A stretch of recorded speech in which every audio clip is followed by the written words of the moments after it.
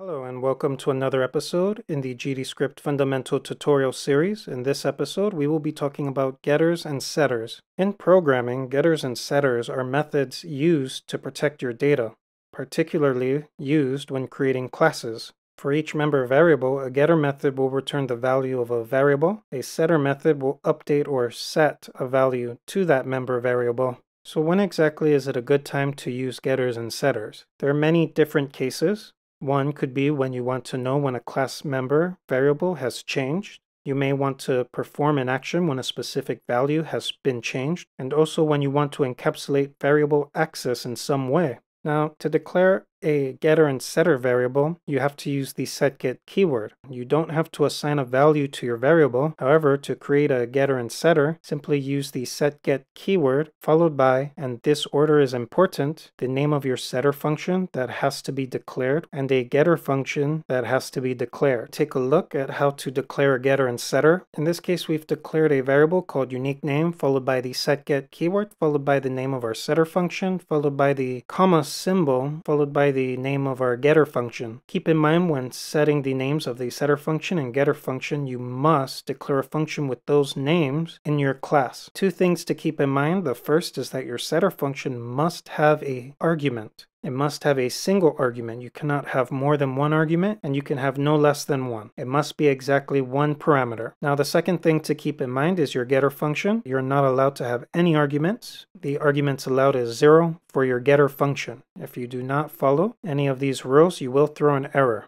In Godot, you can set either a setter function to your variable or a getter function to your variable. To set a setter function to your variable, all you have to do is use the setGet keyword followed by the setter function. Again, keeping in mind that when you declare your function, you must have a single argument. Now you also have the choice of only setting a getter for your variable. To do that, simply use the setGet keyword, and this is important. Notice we have a comma. The comma is important. Without the comma, we're saying that this is our setter function, but when we use the comma, what we're saying is that we want to declare a getter function for our variable unique name. And again, your getter function must be declared in the class, and you are not allowed to pass in arguments or parameters. Some important things to note about getter and setter functions. When declaring them inside a class, your class will have access to member variables. And if you choose to access your member variables by the normal way, you will not trigger the getter setter methods that are tied to that member variable. Now, if you want to access setter and getter methods locally inside your class for your member variables, you need to use the self keyword. Now, the self keyword just refers to the current class instance. In other languages, it could be the keyword this. Self keyword is self explanatory. The keyword is spelled self, followed by the dot notation, followed by either a function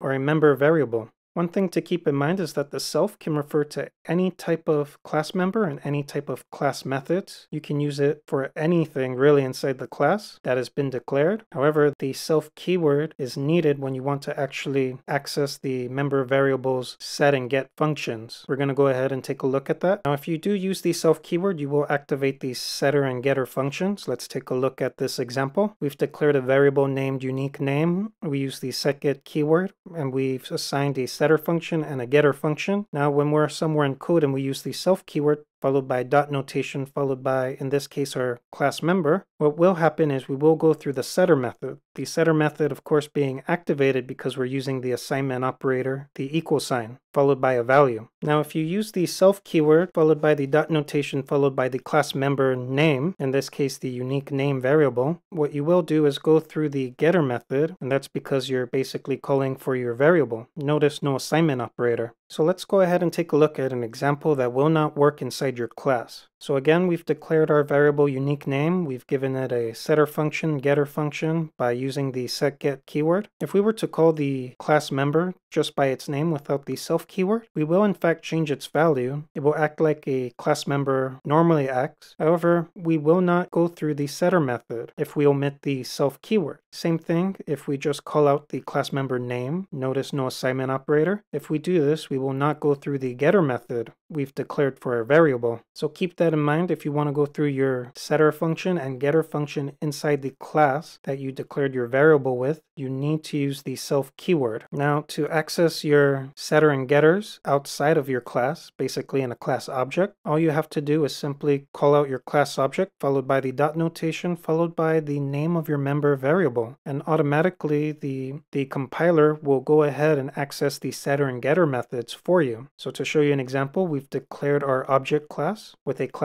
that has a setter and getter method assigned to a member variable. You just go ahead and call that object class followed by the dot notation followed by a member variable name use the assignment operator, a value, and you will activate the set method. Same thing for the get method, just call the class member, don't assign a value to it, and you will activate the get method. So there are some common practices for how you define and your getter function and your setter function. Let's go ahead and take a look at the getter function. In this example, we have a variable called member variable. We use the setGet keyword, and we've defined our setter function and our getter function. So the common practice for your getter function is that you need to return the value inside the variable that the setGet function is attached to. So in this case, we use the return keyword followed by the name of our variable. That's because when someone is trying to access or rather retrieve the value from the member variable, when you use the setGet keyword, you do go to your getter function, you do whatever it is you need to do. However, at the end of the day, you are still expecting the value that's been assigned to your member variable variable. So again, you use the return keyword followed by the name of your variable at the end of your function. Keep in mind if you do not add a return keyword to the getter function, by default, your getter function will return back the no value. And that is probably something you don't want to do unless you have an intentional use for doing so. There is also a common practice for how you define your setter function. So again, we have the same member variable name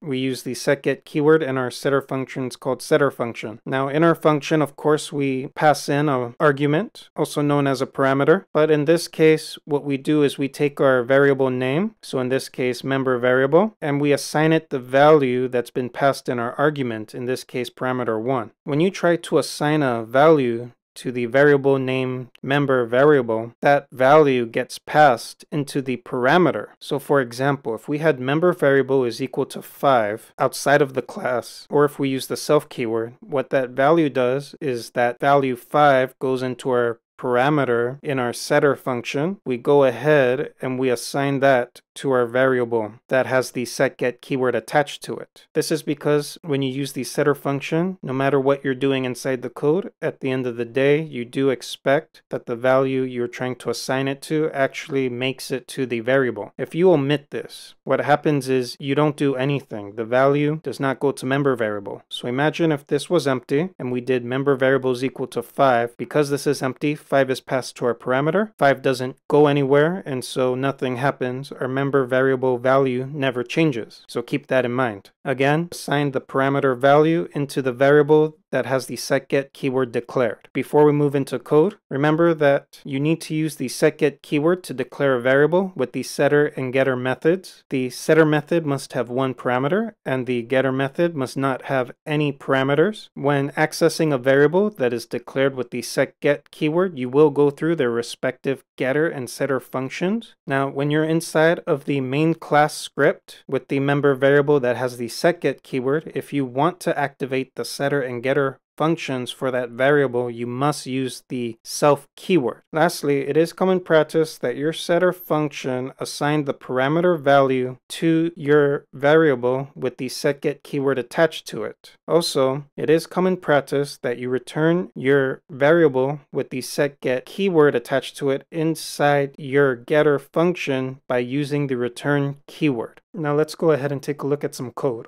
So I went ahead and created a class file called human. What I like to do, of course, is use the class name keyword followed by a name so we can access our class with just the name. We don't have to use the load keyword. Now I went ahead and created a unique name. I set the default value to John and I use the set get keyword followed by the name of our setter function, followed by the name of our getter function. Now, as you can see here in the first two examples, we are not going to call the setter and getter function. That's because we didn't use the self keyword. Now, when we do use the self keyword, followed by our class variable name, in this case, we've assigned a name called Aurora, we will in fact activate the setter and getter methods. Now, the setter and getter methods are fairly straightforward. First thing is that our setter function, of course, has to accept a parameter. And in this case, normally when you set a setter function, you do want to in fact pass the value from your parameter into your variable name. And in this case, when we activate our setter function, we go ahead and print out to the screen